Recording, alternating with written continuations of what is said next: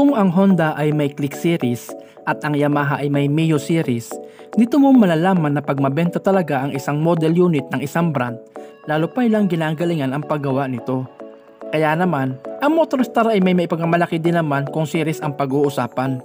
Ito ay ang Easy Ride series, kung saan mayroon silang Easy Ride 150N, Easy Ride 150CL, at Easy Ride 125. At dito nga, ay may bago silang inilabas na Easy Ride. Ito ay ang Easy Ride 150p. Ang physical appearance ng motor na to ay may pagkakahawig sa Honda PCX ng Honda na talaga namang mapagkakambalan mo sa unang tingin mo pa lang mga paps. At narito ang technical specification ng motor na to. Ang makina ng motor na to ay pinalakas ng 149.6cc 4-stroke air-cooled OHC engine. Ang fuel system ng motor na to ay carburetor at ang ignition system ay CDI. Ang starting system ng motor na to ay electric at kickstarter mga paps at ang transmission ay CVT.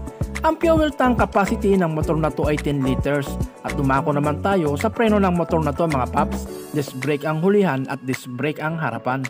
Ang sukat ng gulong ng motor na to ay 100 by 80 by 14 ang unahan at 120 by 80 by 14 ang hulihan.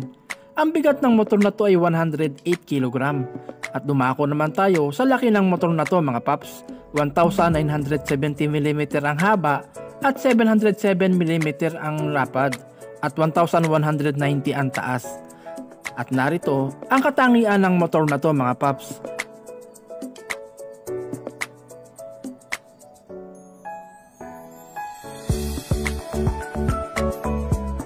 Motor na to ay available sa apat na kulay mga paps. Ang kulay itim, asul, pula at saka puti mga paps. Ang Easy Ride 150p ay may presyong 72,000 pesos mga paps. Bali hanggang ito lamang ang maikling content ko at sana nagustuhan nyo. Pakisubscribe na lang din po, din hit notification bell para updated ka po sa lahat ng video na aking inalabas.